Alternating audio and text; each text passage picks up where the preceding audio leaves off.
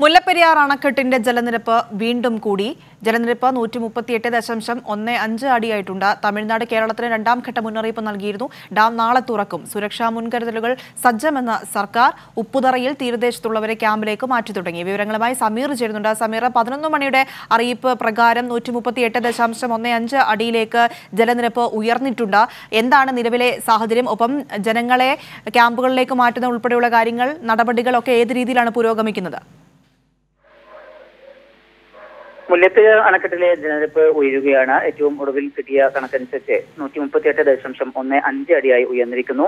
നിലവിൽ നീരൊഴുക്കായി എത്തുന്ന വെള്ളത്തിന്റെ അളവിലും കൂടുതൽ ആയി കാണുന്നു. അയ്യായിരത്തി എണ്ണൂറ് ഘനയടി വീതമാണ് ഓരോ സെക്കൻഡിലും അണക്കെട്ടിലേക്ക് നീരൊഴുക്കായി എത്തിക്കൊണ്ടിരിക്കുന്നത്. ശരാശരി മൂവായിരത്തി എഴുന്നൂറ് ഘനയടി വീതം. നിലവിൽ തമിഴ്നാട് കൊണ്ടുപോകുന്നത് രണ്ടായിരത്തി മുന്നൂറ് ഘനയടി വീതമാണ്.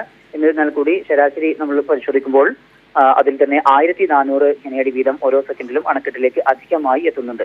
അതിന്റെ ഒരു പശ്ചാത്തലത്തിലാണ് ഈ വിധത്തിലുള്ള ഒരു ഉയർച്ച നമുക്ക് കാണാൻ കഴിയുക.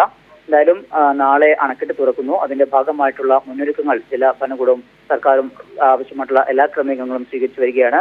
രാവിലെ മുതൽ തന്നെ മൈക്ക് അനൗൺസ്മെന്റ് ഉൾപ്പെടെയുള്ള പ്രവർത്തനങ്ങളുമായി മുന്നോട്ട് പോകുന്നു. ഒപ്പം തന്നെ പെരിയാറിന്റെ ഇരു കരകളിലുമുള്ള കുടുംബങ്ങളെ മാറ്റിപ്പാർപ്പിക്കുന്ന പ്രവർത്തനങ്ങളും പുരോഗമിക്കുകയാണ്. പ്രധാനമായും അണക്കെട്ട് തുറന്നുവിട്ടാൽ അത് ബാധിക്കുന്നത് പീരുമേട് പീരുമേട് ഒപ്പം തന്നെ ഉടുമ്പൻചോല ഇടുക്കി താലൂക്കുകളിലായിക്കൊണ്ട് മഞ്ചുമല പെരിയാർ കുമളി ഉപ്പുതറ അയ്യപ്പൻകോവിൽ ആനവിലാസം ഏലപ്പാറ കാഞ്ചിയാർ എന്നീ വില്ലേജുകളെയാണ് ഈ വില്ലേജുകളിൽ നിന്നായിക്കൊണ്ട് എണ്ണൂറ്റി എൺപത്തി മൂന്ന് കുടുംബങ്ങളെയാണ് മാറ്റിപ്പാർപ്പിക്കേണ്ടി വരിക. അതിൽ ഇപ്പോൾ ഉപ്പുതറ മഞ്ചുമല എന്നീ വില്ലേജുകളിൽ നിന്നുള്ള കുടുംബങ്ങളെ മാറ്റിപ്പാർപ്പിച്ച് തുടങ്ങിയിട്ടുണ്ട്. മറ്റ് ഇടങ്ങളിലെ കുടുംബങ്ങളെ കൂടി ഇന്ന് വൈകിട്ട് ആകുമ്പോഴേക്ക് മാറ്റിപ്പാർപ്പിക്കും. പ്രധാനമായും പെരിയാറിന്റെ തീരഭാഗത്തുള്ള ഏറ്റവും താഴ്ന്നിരിക്കുന്ന കുടുംബങ്ങളെയാണ് ഇപ്പോൾ മാറ്റിപ്പാർപ്പിച്ചുകൊണ്ടിരിക്കുന്നത്. ശരി.